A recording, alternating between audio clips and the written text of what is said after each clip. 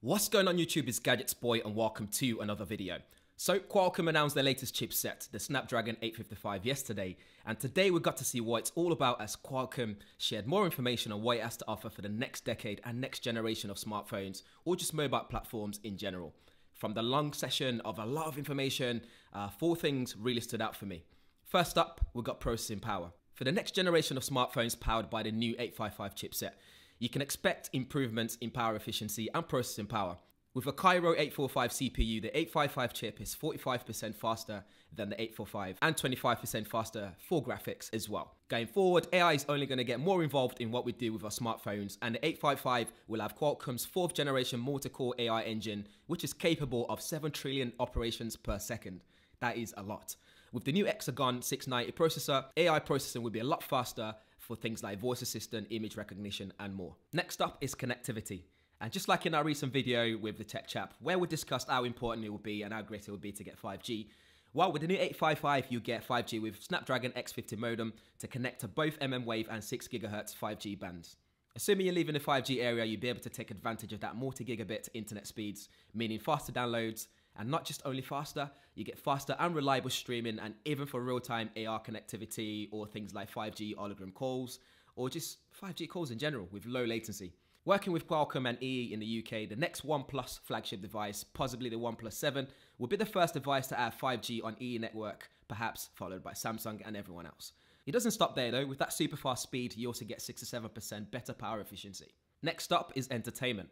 With the new 855, you get support for up to 8K VR, HDR10 plus video playback, upgraded aptX audio codec, and when gaming you can expect up to 90% drop in frame and external display support on up to two displays up to 4K in HDR as well, which is pretty cool. Qualcomm also announced Snapdragon Elite Gaming, which will support gaming in true HDR. It will offer physically based rendering to recreate textures in games by drawing from readily available templates, basically bringing mobile gaming graphics closer to console level experience. Finally, we have camera. And as I've said many times before, the future of mobile photography is computational photography. With Spectra 380 image signal processor, you get support for hardware-based depth sensing to enable video recording, object classification and segmentation in real time at 4K HDR at 60 frames per second. The 855 features the world's first computer vision image signal processing, which should result in extreme speed boost and four times power savings too. What's also exciting is 4K HDR video in portrait mode with object tracking too. You can change the background in real time and there's also cinemagraph. Lastly, Qualcomm also mentioned a new image file format called HEIF. HIF, maybe? I don't know. Let me know in the comments below.